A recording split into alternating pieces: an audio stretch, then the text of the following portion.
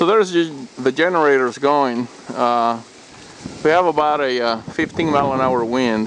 They're going extremely fast, as you can see. These things are really moving along right now. I'm gonna get closer so you can hear them. They're very quiet. These WindMax generators I'm very, very happy with.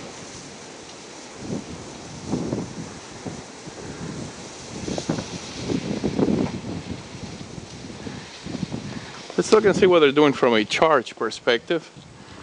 Uh, I have to redo that tower a little bit. I gotta get one higher than the other because right now it's not uh, one uh, takes the wind away from the other. As you can see, uh, there's the amps and they're fluctuating. Uh, I've seen it go up today to about uh, 25 amps or so. But the wind is not all that strong right now. There's 20 amps. Um, so he's doing quite well. Uh, I would imagine a 20, 20 mile an hour wind, these things are really going to put out some juice. So I got a 24 volt system. So when you get to 20 amps, uh, that's about 600 watts or so. And then when we look at the voltage, voltage is around, see if this thing will focus. It's around 26 volts, I guess. And then the amps, you can see them fluctuating right now. They're at 10, 12, 15, and they'll get up there. There's 22 amps. Um, it's moving along quite well. Not doing too bad. And you can see the uh,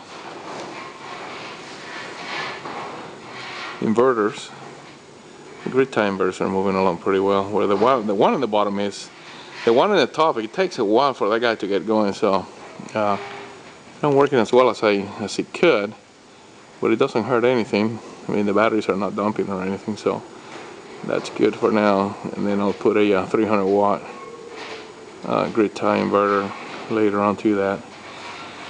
And I haven't got much done as far as the batteries go. There's still the two same old batteries, so I still got to get the uh, both car batteries in there, build a box, put that on there. So the system's coming along. I got another amp meter.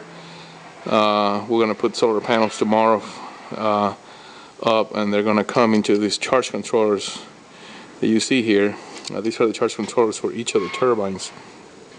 And when you see that guy flashing, that's charging. When uh, it's flashing green it's charging from the turbines. When it's flashing red it's charging from the solar panels.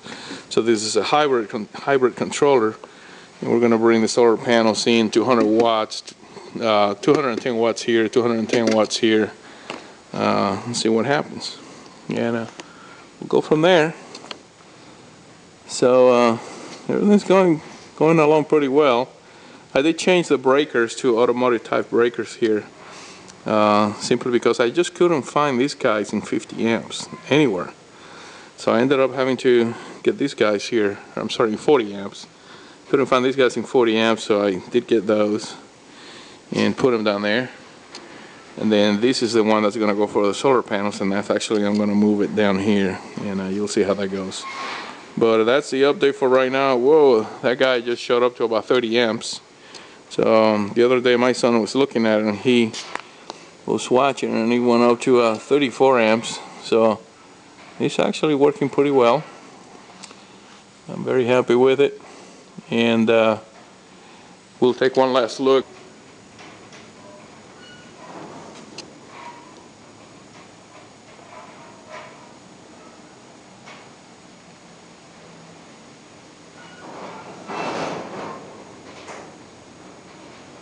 there she goes there she goes.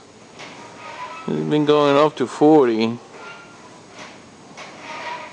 And she's been averaging, I guess, 15, 20 amps or so. So, anyways, it's all good. Thanks a lot for watching. Take care.